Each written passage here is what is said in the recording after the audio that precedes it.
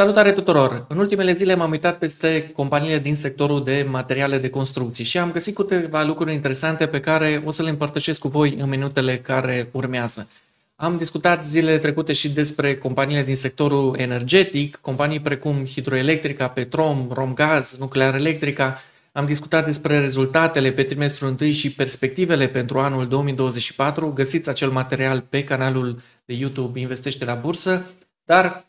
în urmă cu vreo două săptămâni am discutat și despre companiile din sectorul IT, companii care sunt tot mai populare la Bursa de Valori București și care nu au avut tocmai un an 2023 strălucit, dar există și acolo companii cu perspective interesante, cu perspective bune pentru anul 2024. Găsiți și acel material pe canalul de YouTube Investește la Bursă. În acest material vom discuta despre companiile de sec- din sectorul de materiale de construcții și și aceste companii am observat că au avut un an 2023 destul de dificil și în continuare vă voi arăta câteva slide-uri dintr-o prezentare pe care am pregătit-o pentru membrii comunității Investește la Bursă, investitorii care susțin lună de lună acest proiect și cărora le mulțumesc pentru sprijinul acordat. Pregătesc în fiecare joi seara o prezentare live pentru investitorii care susțin proiectul Investește la Bursă și în minutele care urmează vă voi arăta doar câteva slide-uri din această prezentare am observat că aceste companii din sectorul de construcții au avut un an 2023 foarte dificil. Cei de la Roca Industries spuneau că 2023 a fost cel mai greu an pentru industria materialelor de construcție din ultimii cel puțin 10. Scăderile pe care piața le-a suferit în acest an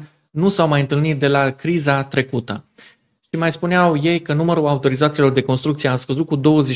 în 2023 față de anul 2022, iar trendul continuă și la începutul anului 2024. INS raportează scăderea ale producției industriale trimestru după trimestru și an după an. Volumul lucrărilor de construcții la trimestrul 1 ca serie ajustată a scăzut în ianuarie-februarie 2024 față de aceeași perioadă a anului 2023 cu 11,8%, în timp ce volumul lucrărilor de construcții pentru clădirile rezidențiale s-a contractat cu aproape 37%.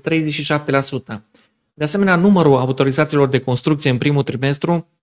a fost mai mic cu 7,2% față de primul trimestru din 2023, asta după ce în 2023 scăzuse cu 20,6% față de anul 2022.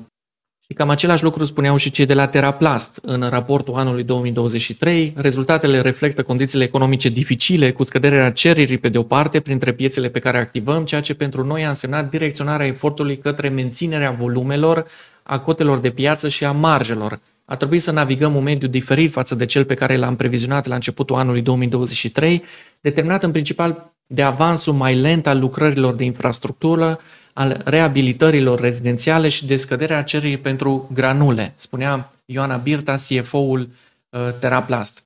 Lucrurile s-ar putea schimba începând cu anul 2024 și este și motivul pentru care am decis să mă uit puțin peste aceste companii din sectorul de materiale de construcții, să mă uit ce și-au bugetat pentru anul 2024, cum au început acest an, cu ce rezultate sau ce rezultate au raportat pe trimestrul întâi și să văd puțin care sunt companiile care ar putea ieși în evidență în acest an. Pentru că, la prima vedere, multiplii acestor companii par foarte mari, dar sunt mari deoarece vin după un an 2023 foarte dificil. Dacă e să ne uităm peste multiple acestor companii, putem observa că majoritatea companiilor din sectorul uh, de material de, de construcții par foarte scumpe în acest moment, cu multipli per de 36, de 40, de 77 sau chiar 1000 în cazul Teraplast. La Roca Industrie nici măcar nu putem calcula multiplu per. Dar dacă ne uităm la multiple enterprise value pe EBITDA, cam același lucru vedem la mai toate companiile. Singura companie care e într-adevăr atractivă din punct de vedere a multiplilor de preț este Macofil cu indicatori sau multipli uh, foarte mici, dar este o companie destul de slab lichidă și care se tranzacționează de regulă, de mult timp se tranzacționează la multipli uh, foarte mici și are și o comunicare destul de proastă pentru că pe site-ul companiei nici măcar n-am găsit bugetul pentru anul 2024, deci nu am putut calcula uh, multipli forward. Pe multipli anului 2024, aceștia se mai îndulcesc, adică de la multipli de 36 uh, sau 40 ajungem la per de 20, de 30, uh, mai coboară acești multipli Uh,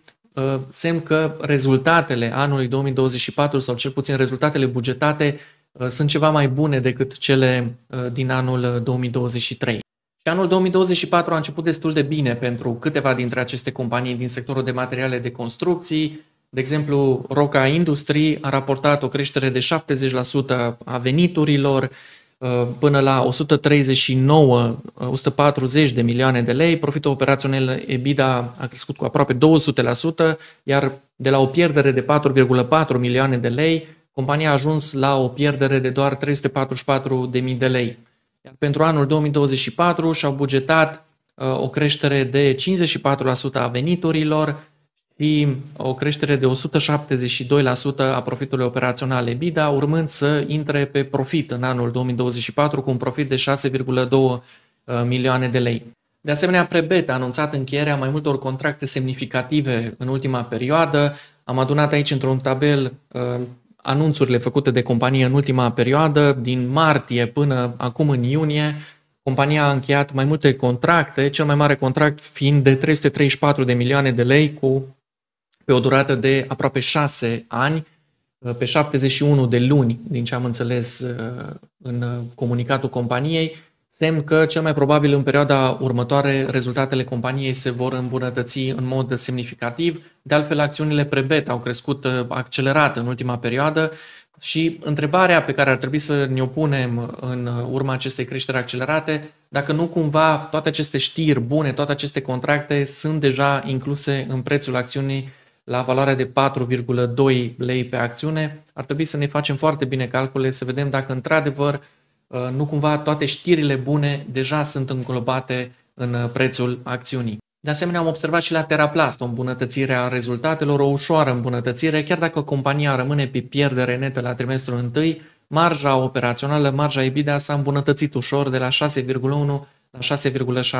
6,7%. Pentru webinarul din această seară am pregătit peste 80 de slide-uri în care voi discuta despre companiile din sectorul de materiale de, de construcții, pentru a avea acces la webinar și la toate resursele de analiză pentru companiile listate la Bursa de Valori București, vă invit pe site-ul Investește la Bursă, la secțiunea platformă, veți avea acolo acces la peste 40 de rapoarte de companie, webinarii live în fiecare joi seara și o serie de materiale în format video și PDF care să vă ajute să faceți investiții mult mai bine documentate.